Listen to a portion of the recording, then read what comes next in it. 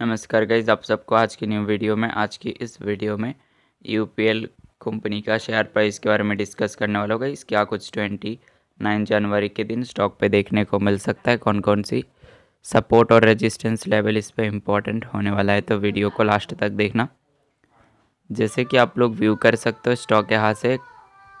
तो यहाँ से अगर आप लोग देखोगे गए स्टॉक जो है कंटिन्यूसली एक लोअर लो पैटर्न बनाता हुआ देखने को मिल रहा है।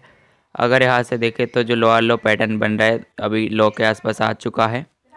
532.50 पे सबसे पहला स्ट्रॉन्ग सपोर्ट है।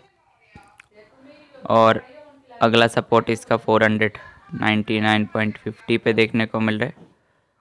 अब गई अगर व्यू करें इसका रेजिस्टेंस को तो गई five hundred seventy six one ninety पे काफ़ी स्ट्रॉन्ग रेजिस्टेंस इसका देखने को मिल रहा है।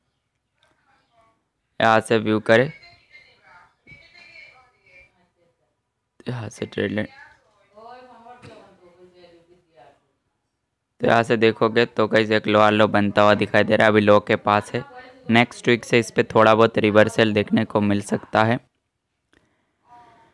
तो लेवल पे फॉलो करना और मुझसे कांटेक्ट करना है। तो कहीं से अबाउट पे कांटेक्ट मिल जाएगा।